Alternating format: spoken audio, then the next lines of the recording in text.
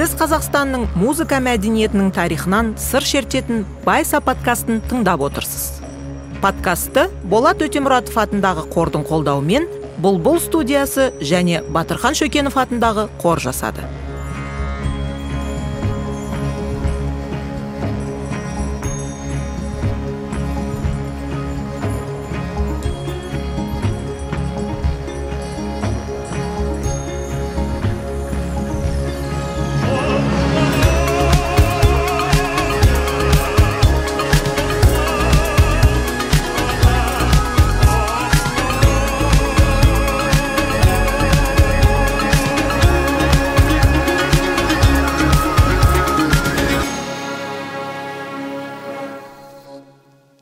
Байса подкастының екінші маусымында кейіпкерлердің өмір сүрген уақыт контекстін ескере отырып өмір жолы мен шығармашылығын қарастырамыз.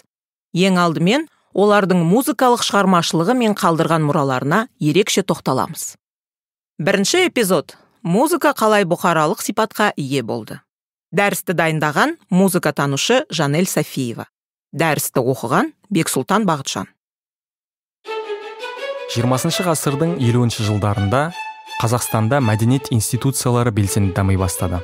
Сол кездегі елдің басты музыкалық оқу орны алматыдағы консерваториядан алғашқы түлектер түлеп ұшты. Опералық театрда қазақстандық композиторлар мен әлем классиктерінің туындылары сахналанса құрманғазы оркестрі дәстүрлі қазақ күйлері мен қазақстандық әрі шетелдік авторлардың музыкалары тоғысындағы туындыларды орындады. Өңірлер де елордадан бір мысқал кем түскен жоқ. Себебі ол жерлерде де академиялық музыка өнерін қалыптастыруды көздеген кеңестік мәдениет саясаты толығымен жүзеге асырылды.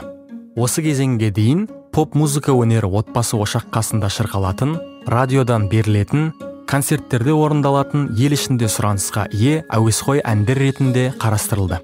Өз монографиясында музыка танушы гүлнар абдрахман қазақ көркемөнерпаздар шығармашылығы деп автордың сыртқы қажеттілігіне байланысы жоқ есесіне ішкі қажеттіліктері мен музыкалық дарынынан туған өзіндік музыкалық болмысын таныту формасын атайды. Мұндай әуесқой өнерпаздар қатарына 20 ғасырдың бірінші жартысында ауызша кәсіби мәдениет дәстүрін жалғастырып өз ана тілін жақсы білетін орындаушылар жатты. Бірақ қазіргі заман талабына сәйкес олар әуесқой авторлар еді. Себебі олар музыкалық білім берудің жаңа моделінен тысқары қарастырылды. Сонымен қатар кеңес одағынан тыс жерлерде танымал мәдениет пен джаз.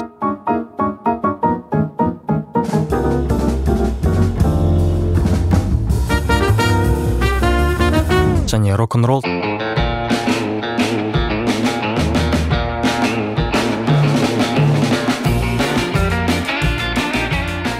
сынды талай тыңдарманның жүрегін жаулаған басты музыкалық жанрлар қарқынды дамыды.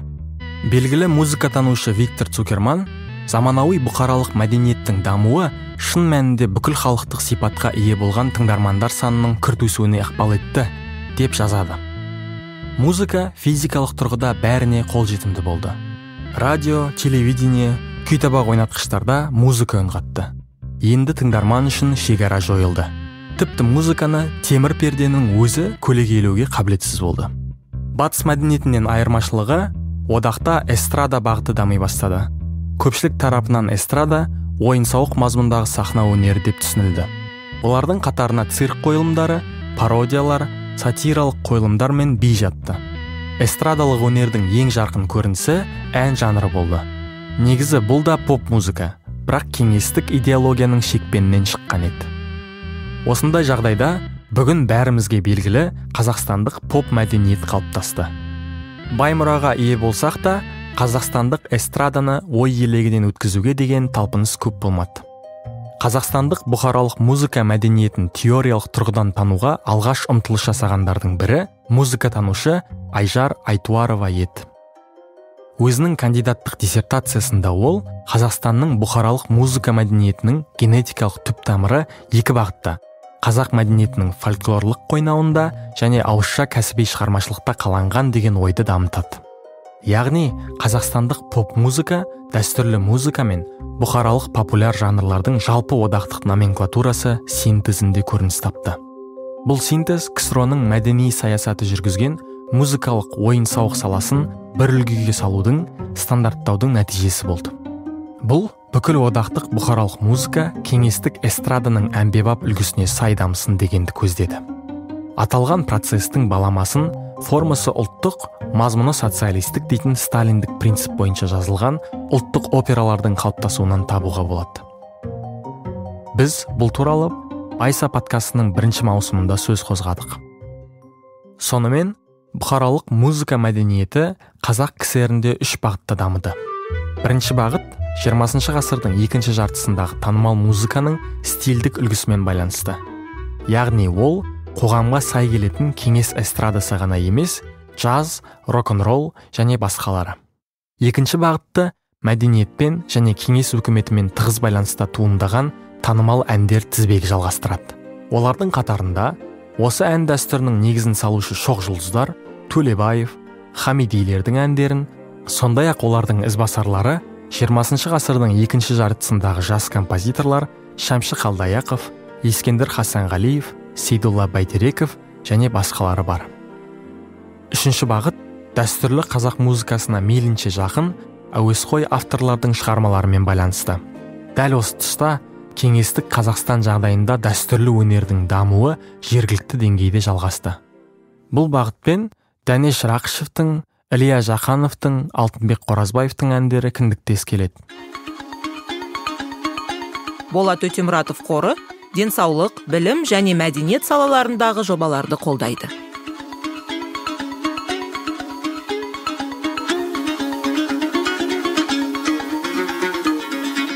Музыкалық ойнатқыштар мен телерадио хабарларының дамуынан бөлек аталған жанрлардың музыкада кең тарауына қоғамдағы жағдай мен жылымық кезеңі ықпал етті. ксро да адамдар арасындағы махаббат пен қарым қатынас мәселесін көтеретін фильмдер түсіріле бастады. Осы тұста леонид гайдайдың гаухар қолы бриллиантовая рука және шуриктің шытырман оқиғалары юрий чуликиннің қыздары девчата владимир чеботарев пен геннадий казанскийдің қос мекенді адамы человек амфибия юлия райзманның бұл махаббат па? А если это любовь? және георгий данелияның мәскеуде жүрмін адымдап я шагаю по москве фильмдері жарық көреді. Бұл сәт батыстан мәдени оқшауланудың бұзылуының басы болды. Жастар субмәдениетінің хиппи және битниктер сияқты алғашқы жас өскіндері пайда болып музыканы қолмен көшіріп басу нәтижесінде кеңес жастары батыстың поп мәдениетіне қол жеткізді. Кеңестік қазақстанда батыс музыкасын таратуда алыпсатарлар маңызды рөл ойнады. Десе де олардың қызметі заңмен жазаланатын еді. Олар әйгілі винилді пластинкаларды аудиокассеталар мен иіршіктерді сатты. Жергілікті жерасты базарларда пластинкалар тіпті валютаның орнын басты. Олардың құны 25 рубльден 120 рубльге дейін жетті. Бұл бір маманның айлық жалақысымен салыстыруға тұрарлық үлкен ақша. Алыпсатарлардан бөлек пластинкалар шетелге шығу мүмкіндігі бар көбіне гастрольдік сапарлар мен іс сапарларға шығатын әртістер дипломаттар мен әскерилердің арқасында пайда болды. Қазақстанда бұқаралық музыка 1956 жылдан бері қалыптаса бастайды. Сол тұста қаз кср радио және телевидение комитеті жанынан ұжым құрылып ол кейін қазақ теледидары мен радиосының эстрадалық симфониялық оркестріне айналады. Ұжым оркестрге арналған шығармалар мен қазақстандық композиторлардың радио мен телевидениеге лайықталған эстрадалық әндерін ел арасында тарату мақсатында құрылады. Уақыт өте келе ол елдегі танымал музыканың айқын символына айналды. Мұнда танымал дирижерлер композиторлар қазір қазақстандағы кеңестік бұқаралық музыканың үлгісіне айналған танымал әндерді шырқаған орындаушылар өз шығармашылық жолын бастайды. Әр жылдары валериан каретников василий лисица александр гурьянов кеңес дүйсекеев оркестрге жетекшілік етсе орындаушылар қатарында суат абусейітов гүлвира разиева ескендір хасанғалиев лаки кесеоғлы зейнеп қойшыбаева люция төлешева және тағы басқалар бар. Алпысыншы жылдары жергілікті музыканы орындау мүмкін емес екені белгілі болды. Темір перденің салдарынан батыс музыкасы ел аумағында кең танылып кетті. Сол кезде эстрадалық симфониялық оркестр музыканттары концерттік бағдарламаларға нотасы мәскеуден келетін жаз шығармаларын да енгізе бастады. Осылайша қазақ теледидары мен радиосының эстрадалық симфониялық оркестрі қазақстандық жаздың қалыптасуына әсер етті.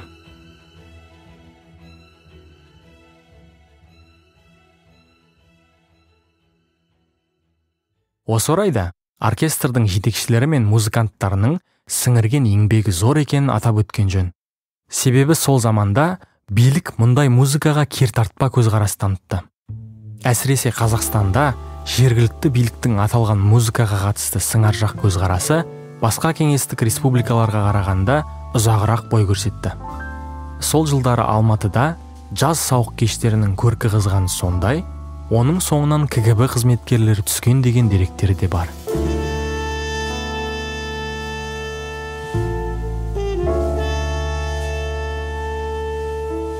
Жаз кеңестік қазақстанға елуінші жылдары келді. Бұл жанрдың жол бастаушыларының бірі барабаншы валерий юлевич еді.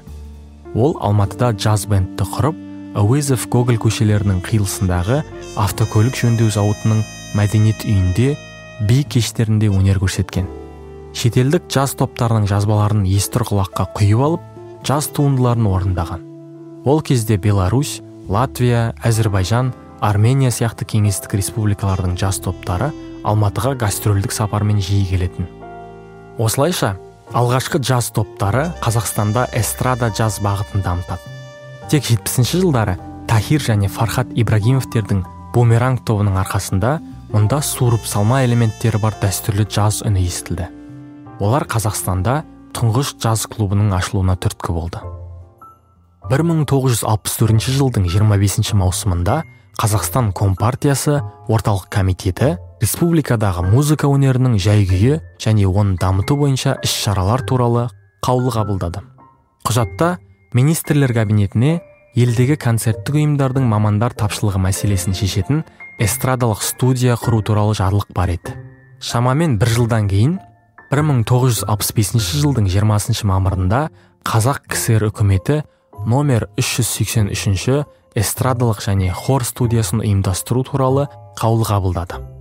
Барлық аймақтық және облыстық мәдениет басқармаларына сондай ақ театрларға сол жылдың 20 шілдесіне дейін студияда білім алу үшін өңірлер мен астанадан талантты жастарды іріктеу жұмыстарын жүргізу тапсырылды.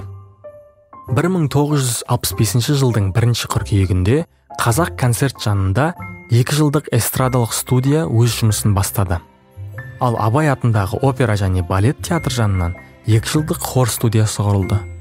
Қазақстан ресей мен украинадан кейін жергілікті эстраданы дамыту мақсатында өз астанасында осындай студиялар ашқан үшінші ел еді. Қазақ кср еңбек сіңірген әртісі гүлжихан ғалиева эстрадалық студияның алғашқы басшысы әрі шығармашылық жетекшісі атанды. Кейіннен студия бойын тіктеп қазіргі жүсіпбек елебеков атындағы республикалық эстрада және цирк колледжіне айналды. 1967 жылы эстрадалық студияның түлектері ғалееваның жетекшілігімен гүлдер жастар ансамблінің мемлекеттік қуыршақ театры мен қазақ циркінің алғашқы құрамын жасақтады. Роза рымбаева қайрат байбосынов мақпал жүнісова және өзге де орындаушылар өнер жолын аты аңызға айналған гүлдер жастар ансамблінде бастады. Композитор әрі пианист еркен ынтықбаев өз естелігінде гүлдер ансамблінің 16 қыз әнінде 16 қыз қысқа етекті бүрмелі ұлттық көйлек киіп қолдарына домбыра алып би билегенін айтады. Бұл әуел баста көрерменді таңғалдырғаны рас. Бірақ қазақ сахнасында орындаушылықтың жаңа формасының қалыптасуына да түрткі болды. елуінші алпысыншы жылдардағы бұқаралық музыка мәдениеті кеңестік қазақстан музыкасының әрі қарайғы беталысына ықпал етті. Кеңес номенклатурасы біртіндеп өнерге деген қысымды бәсеңдетті. Сондықтан жаңа музыкалық ағымдар ел аумағына тек пластинка түрінде ғана емес сахналық қойылым ретінде де еніп көрерменге кең таныла бастады. Бұл әлбетте алғашқы музыкалық институциялар оркестрлер мен эстрада және цирк студияларының зор еңбегі. Шәмші қалдаяқов әсет бейсеуов және сейдулла бәйтерековтің ән лирикасымен байланысты қазақ бұқаралық музыкасының маңызды бағытын қалың көпшілікке танымал етуде олардың рөлі орасан зор. Және байса подкастының келесі эпизодында бұл туралы кеңірек тарқатып айтатын боламыз. Сіз музыканың қалай бұқаралық құбылысқа және қазақстандағы қала мәдениетінің маңызды бөлігіне айналғаны туралы эпизодты тыңдадыңыз. Келесі эпизодта біз 20 ғасырдың екінші жартысында поп хитке айналып тыңдарман жадында мәңгі сақталған өлмес туындыларды жазған белгілі композиторлар туралы сөз қозғаймыз. Жаңа эпизодтарды жіберіп алмас үшін подкастымызға жазылыңыз. Егер эпизод көңіліңізден шықса бағалауыңызды немесе пікір жазуыңызды өтініп сұраймыз. Бұл байса подкасты туралы барынша көбірек адамның білуіне көмектеседі. Байса туралы толығырақ біздің әлеуметтік желілерімізден біле аласыз. Сілтемені инфобоксқа қалдырамыз. Біз подкасттың екінші маусымын изи студиясында жаздық және изилік достарымызға зор алғыс айтамыз. Байса подкастын дайындауға атсалысқандар. Подкасттың редакторы және продюсері айсұлу тойшыбекова. Продюсердің көмекшісі айдана сұлтан. Қазақ тілді мәтіндердің редакторы кәмшат әбдірайым. Подкасттың қазақ тіліндегі редакторы айкүміс сексенбаева. Ғылыми кеңесші раушан жұманиязова. Дыбыс режиссері дәуіт жантасов. Композитор эмиль досов. Мұқаба дизайнері гүлдана тауасар. Баяндаушылар айғаным рамазан және айсұлу тойшыбекова. Дыбыстаушы сәлім балғазин және айғаным рамазан. Мәтіндерді қазақ тіліне аударған фридрих шегіртке.